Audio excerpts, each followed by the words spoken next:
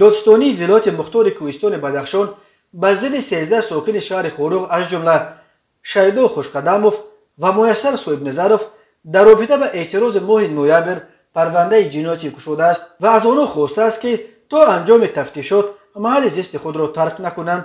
Хоҷамрӣ пирназаров як масъули комиссияи чилучор ки тазоҳургарони хоруғ барои музокирот бо мақомот ва назорати иҷрои талабҳояшон интихоб карданд рӯзи сюми декабр ба радиои озодӣ гуфт ин сездаҳ нафарро ба буридани дарахтон дар рӯзҳои эътирозҳо айбдор мекунанд.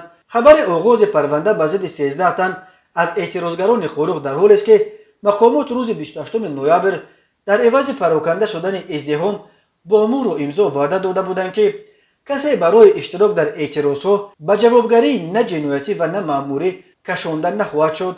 Инҳо дар рӯзҳои таҷаммӯи мардум дар хоруғ барои пешгирӣ аз эҳтимоли вуруди сарбозон ва зерепӯшҳо дарахтҳоро бурида садда гузошта буданд. Онҳо ба хотири он ба ин амал даст зада буданд ки мардум баъди кушта шудани гулбедин зиёбеков аз ҳукумати кишвар мехостанд. Омилони марги ӯро ба ҷавобгарӣ кашанд тафсилот додааст пирназаров. Вай ҳамзамон аз он изҳори ташвиш кард ки мақомот ба воситаи телевизиони маҳаллӣ маъракаи тарғибот ба зидди ба истилоҳ дарахтбуронро созмон доданд. Навори кормандони идораҳо мактабҳо ва беморхонаҳоро намоиш медиҳанд онҳо сездаҳ нафарро маҳкум мекунанд. Кори якҷонибаи телевизиони давлатӣ ба ҷараёни тафтишот халал мерасонад. Афзудааст намояндаи комиссияи чилучор ин ниҳод рӯзи сюми декабр аз раиси вилояти мухтори кӯҳистони бадахшон ва раиси кумитаи телевизион ва радиои тоҷикистон хостааст ба аъзои гурӯҳ барои ибрози назарашон дар телевизиони бадахшон си дақиқа вақт бидиҳанд.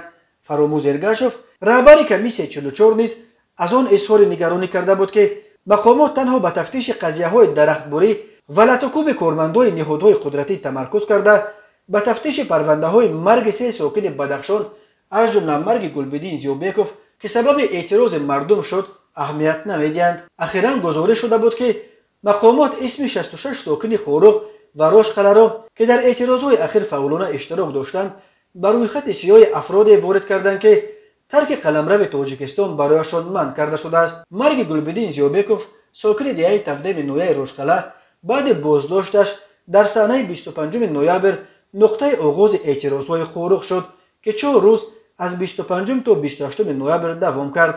Дар рӯзҳои нооромиҳо дар бадахшон се сокини ин вилоят кушта ва дасти кам 15 тани дигар захмӣ шуданд эътирозгарон танҳо шоми 28 ноябр вақте хона ба хона пароканда шуданд ки мақомот ваъдаи таҳқиқи муштараки қазияи марги гулбидин зиёбековро доданд.